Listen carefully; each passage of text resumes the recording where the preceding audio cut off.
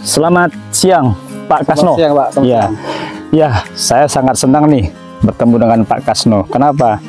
Saya begitu antusias kalau bisa melihat tanaman Pak Kasno sangat sehat ya. Kemudian kita bisa melihat di hadapan kita ini pertumbuhan tanamannya juga begitu optimal.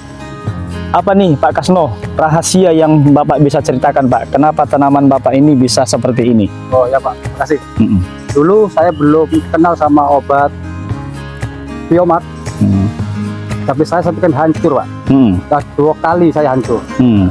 Nah saya coba pakai biomat, alhamdulillah Pak sekarang jadi kayak gini hasilnya Pak. Oke. kita puas lah mau pakai biomat. Saat kapan Pak digunakan biomaknya? Oh, saat mau nyebar pupuk kandang. Habis sebar pupuk kandang baru semprot sama biomat. Oh, Terus itu saya tutup sama mulsa. Oh, artinya biomak dipakai se- sebelum tutup mulsa. Ya, Artinya ketika pupuk kandang sudah diberikan di Ya, galengan, ya. di galengan, baru Semprot semprot biomat. dengan biomak. Biomat. Berapa konsentrasinya Pak? Satu tel saya kasih 140 140 mili Ya. atau 140 cc per tangki. tangki. Nah, terus disemprot merata ke bagian galengan. Galengan. Kemudian setelah Bapak gunakan biomak, kapan pindah tanamnya Pak? Berapa hari atau berapa minggu?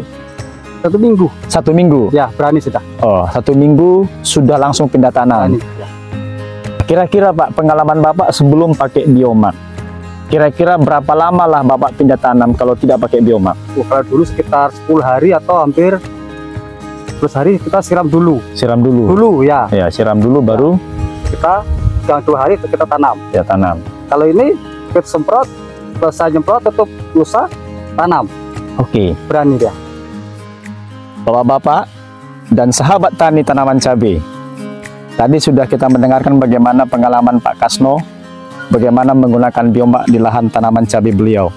Sebelum menggunakan biomak di tanaman cabai beliau, beliau sangat merasakan bagaimana kondisi tanaman yang beliau kelola di petik pertama atau mungkin ditanam pertama begitu bagus, tetapi selanjutnya mengalami pertumbuhan yang terus menurun Menurut bahkan anjlok.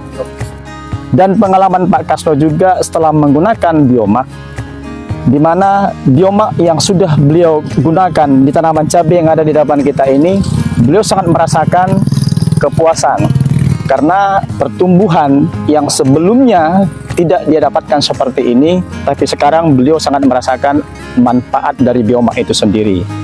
Apa yang dilakukan oleh Pak Kasno pada saat dia menggunakan biomak itu adalah bahwa ketika Bapak Ibu sudah mempersiapkan bedengan seperti yang ada di bawah ini, maka sudah tentu pupuk dasar akan diberikan di dalam bedengannya.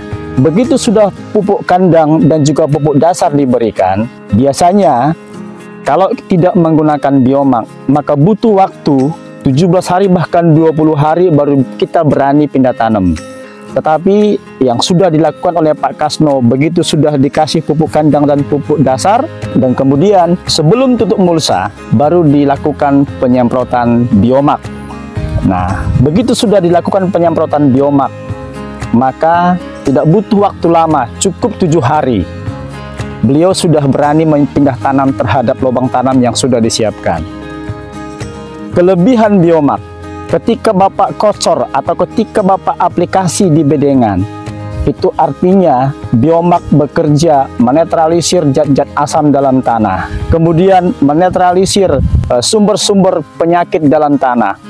Maka dalam waktu tujuh hari ke depan, Bapak Ibu bisa siap langsung pindah tanam tanaman cabenya. Ini yang sudah dilakukan oleh Pak Kasno. Artinya waktu sangat penting bagi kita untuk melakukan pengelolaan dalam tanamannya.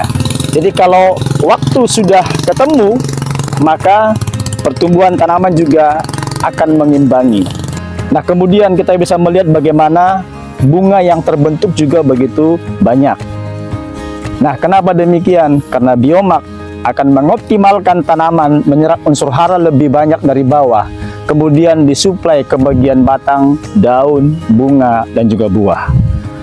Demikian Bapak Ibu sekalian, salam biomak dari Desa Sukapulei. Terima kasih Pak Kasno. Ya, salam. Salam biomak. Salam biomat. Salam biomak nih.